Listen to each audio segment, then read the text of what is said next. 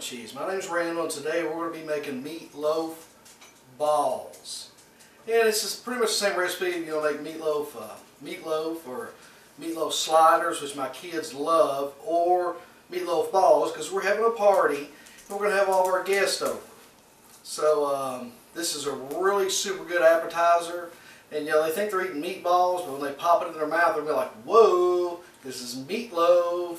So uh, let's go and get all this mixed together and get ready to roll in the balls and head into the oven.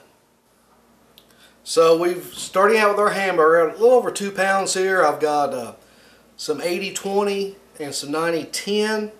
So we're going to start with that and I kind of press it back in the center as you can see right there. Okay, next thing we're going to do is three eggs. Okay, we're going to dump three eggs right in the middle of this. This is going to help hold this meatloaf together and keep it from crumbling. Next, I've got a teaspoon of cracked fresh ground pepper, a teaspoon of Montreal steak seasoning, and a teaspoon of garlic powder. So let's go ahead and get that sprinkled in there until they're all good and nice. Next, we've got this is three tablespoons of Dale's seasoning and one tablespoon of Worcestershire sauce. I'm kind of partial to Dale's. Uh, next, we've got two cups of Italian breadcrumbs. I, you know, a lot of people use crackers, Ritz crackers, uh, saltine crackers. I prefer the breadcrumbs. Uh, I think it gives it a lot nicer body, a little firmer as an end result. Last but not least, we have one and a half cups of salsa. This isn't uh, chunky salsa. This is mild salsa, regular salsa you buy, you know, pretty much any regular grocery store. And the reason I use salsa is because it's got my tomatoes in it, it's got my vegetables in it, it's got my peppers in it. And if you ever look at a meatloaf pack saw, uh, seasoning pack, it's going to have the same ingredients that's in salsa. So, you know, I just combine it all into one and uh, dump that right in there. And that's going to yield a lot more product too, uh, you know, as an end result. So we're going to give this a good mix and get ready to uh, get it put into balls and into the oven. So it's going to get all this mixed up real nice and we'll uh, have it ready to hit the tray. So we got our uh, meatloaf all mixed up and what I've done I've took a little one tablespoon measuring little measuring spoon and roll each one out. So it kind of gives me you know kind of the ballpark so they'll all be you know try to be uniform and close to the same size anyway. So we're going to go ahead and get the rest of these rolled out. So we're going to take, I said, you might you might have to get a little bit extra. It kind of gives you a ballpark figure of where you want to be when you uh, put these uh, balls on your tray. This is going to hit a 350 degree oven. It's going to take about 15-20 minutes. We've got one more step to go before we put them in the oven. So let's go ahead and get the rest of these balls rolled out and uh, go to our next step. Alright, we got our uh, first round of meatloaf balls rolled out on the tray and ready for them. But the last thing we're going to do is go ahead and coat these little guys with uh, little ketchup. So ketchup always fares well with the meatloaf. So uh, while these uh, little guys are in the oven, go ahead and uh, grab you some uh, Noble Beer cheese spread and some Tostitos corn chips and have you a little snack. These little guys here are also really good dipped in some uh, Noble Beer cheese spread as well. It's a veteran owned, veteran made, 100% natural, 35 calories a serving. Uh, you can find it at your local grocer in the dairy section. Uh, if they don't have it, please ask for it.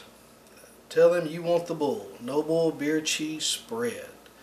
So while we're going ahead and get the rest of these coated, um, we're going to whip up our next round of uh, balls and get them ready for the oven as well. Alright, now that we got all of our uh, meatballs coated with some ketchup, and I meant to tell you that what we're making here was a double batch because we got guests coming over tomorrow and this uh, this evening, so we want to make sure we got plenty for everybody because these little guys will go quick. But you can take all the ingredients, cut them in half. If it's just, you know, you, a family of four or three, and you're going to have plenty. Like I said, you know, you can use this as a meatloaf, meatloaf sliders, or meatloaf balls. You know, the choice is yours. But let's go ahead and get these uh, little puppies in the oven and give them about 15 minutes at 350 degrees, and we'll be uh, checking on them. I just uh, checked on our meatballs, and they're ready to come out of the oven. So let's go ahead and get these uh, little guys out and see how they look. Oh, if we had smell-o-vision, this would be a huge hit because you'd be coming through the screen right now to try one of these. So uh, let's go ahead and get these served up on a plate and give them a taste and see what, what they look like. So these are fresh out of the oven. So we're going to go ahead and take a couple of these off here. Put right around here.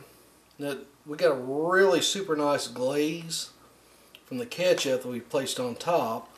And by me using the 90-10 and the 80-20 mix on the hamburger fat content is uh, very little uh, grease left over. And I've got this today served up with some Smoky Mountain Noble Beer Cheese Original, which again, veteran owned, veteran made.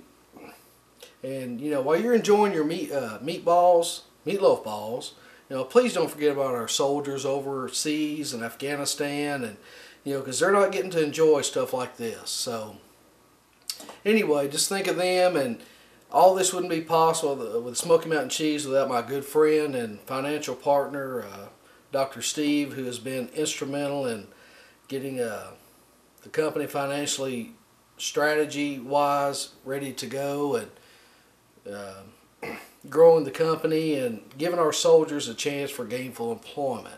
So uh, let's go ahead and give us one of these a try and see what we. Thank you for joining me today in the kitchens of Smoky Mountain Cheese.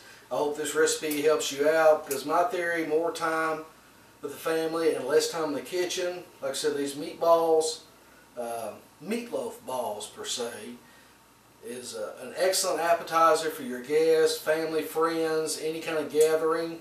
And you're going to get that wow factor, you know, oh my gosh, this ain't meatballs, this is meatloaf balls. And that's what you want. I mean, you want to be the superstar in the kitchen uh, with not a lot of time spent in there. So, and there again, you can take this mix that, you know, I showed you today and make it into a meatloaf. You can make it into sliders. You can make it into meatloaf balls, you know, whatever you want. But anyway, uh, thank you for joining me and may you have a blessed day.